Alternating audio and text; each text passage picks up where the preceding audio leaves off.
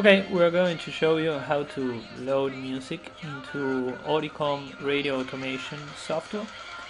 Um, to do that, um, we will first create a new style folder on File Manager uh, with the name of the style we want to create.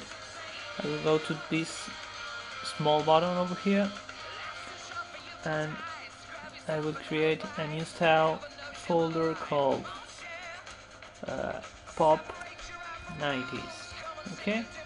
Because I will put some music uh, which is pop music from the 90s in there. Okay? I will check that the auto DB uh, checkbox. It's uh, turned on. The classics music. I will select color from here. Uh, let's say let's say green. Okay so our new folder will have a green color.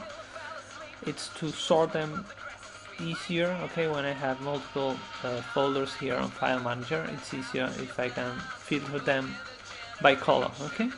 Uh, I will sort them by performer and I will apply a default uh, crossfade uh, at the start of each music tune of 1.5 seconds. This is 15th of a second and then uh, final crossfade out of 15th of a second everything is okay so I will press, uh, press OK and there I have my my new uh, pop 90s folder okay um, what I'm going to do is uh, to simply place uh, some music over there. I will now plug in a pen drive I have over here. Okay, there I have my pen drive. I will open the pen drive. There we go.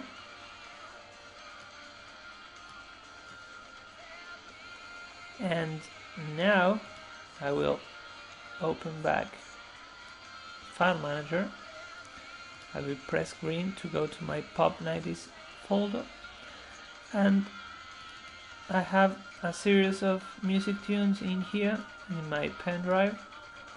Uh, what I'm going to do is to select them all and drag and drop them into my pop 90s folder okay? Uh, now all that music is being copied from the pen drive to the computer hard drive. That's perfect. Um, and as you can see all the all the information has been read from the files the length of each music tune. So all this information is already on the database of Audicom okay? So this music is ready to be put on the air. And there we go